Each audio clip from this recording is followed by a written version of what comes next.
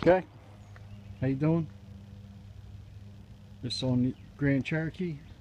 Been starting it up and it's kind of loud under here. So what commonly happens is right here where these headers, where the header comes together. This is stock header. It's not the. see if we can put it down there.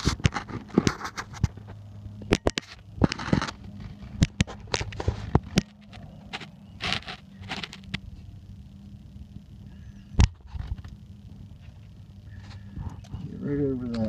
You see that? See that crack on the inside one there?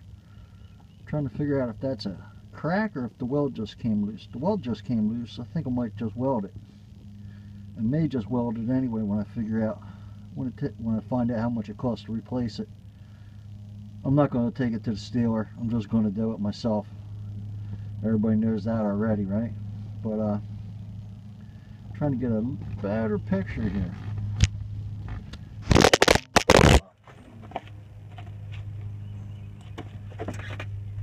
あ